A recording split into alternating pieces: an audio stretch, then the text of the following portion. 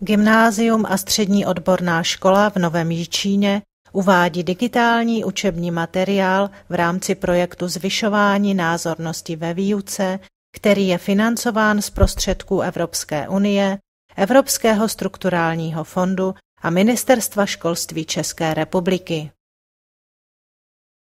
Analytická geometrie v rovině, digitální učební materiál TU 25. Směrnicový a úsekový tvar rovnice přímky. Směrnicový tvar přímky má tvar y rovná se kx plus q, kde k je směrnice. Směrnice může být vyjádřena různými způsoby.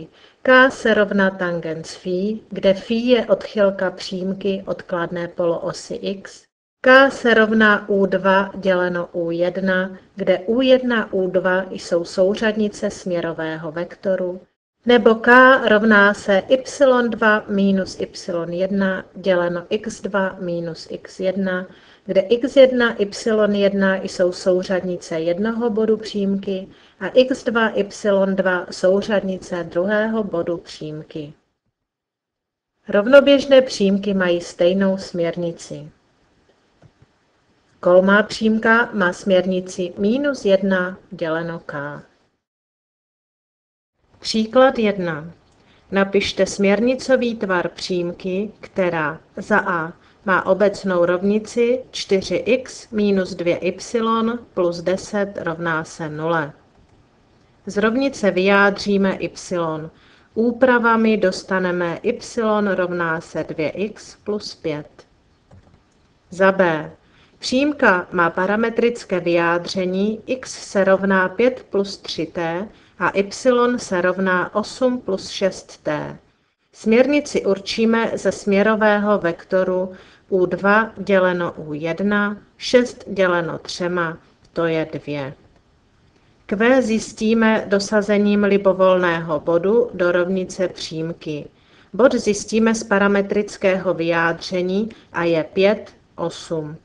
Výpočtem pak Q rovná se minus 2 a směrnicový tvar je y rovná se 2x minus 2.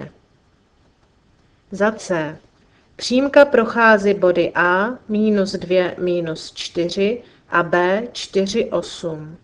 Dosadíme do vzorce k rovná se y2 minus y1 děleno x2 minus x1, tedy 8 plus 4 děleno 4 plus 2 je 2. Dosadíme opět jeden bod pro výpočet Q. Použijeme bod A.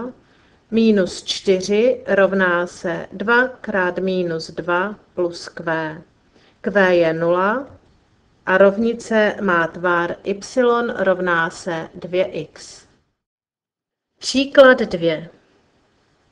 Napište směrnicový tvar přímky, která za a má směrnici k rovno žádná celá 5 a vytíná na ose x úsek q rovno 6.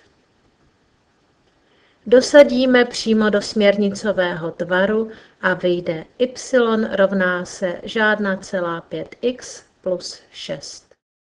Za B přímka prochází bodem A 2, 4 a svírá skladnou poloosou x úhel 45 stupňů.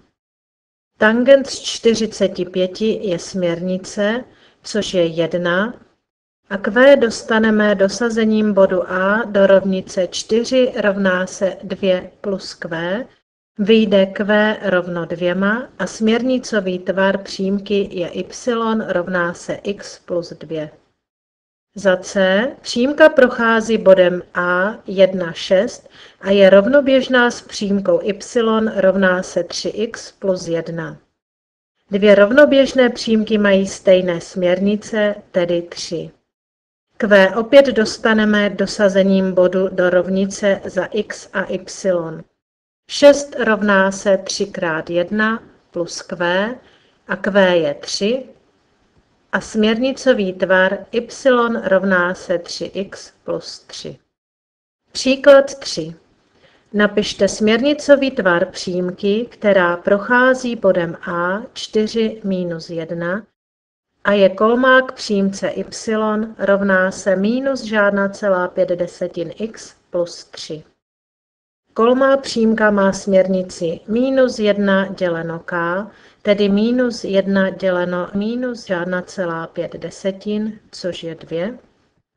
A Q dostaneme dosazením bodu A 4 minus 1 do rovnice.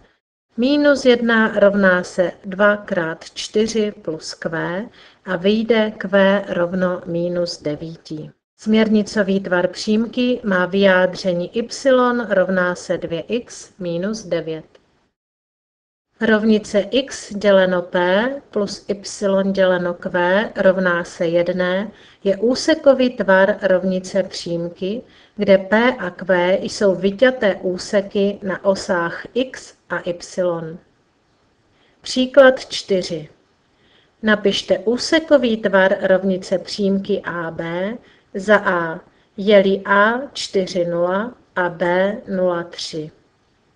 Dosadíme do rovnice P rovno 4, Q rovno 3, dostáváme x děleno 4 plus y děleno 3 rovná se 1. Za B je A 0,5, B minus 2, 0. Opět dosadíme do rovnice, tentokrát je P rovno minus 2 a Q 5. Rovnice má tvar x děleno minus 2 plus y děleno 5 rovná se 1. Za C přímka AB má obecnou rovnici 3x minus 2y minus 6 rovná se 0. Rovnici vydělíme 6 a dostáváme x děleno 2 plus y děleno minus 3 rovná se 1. Na závěr jsou uvedeny zdroje.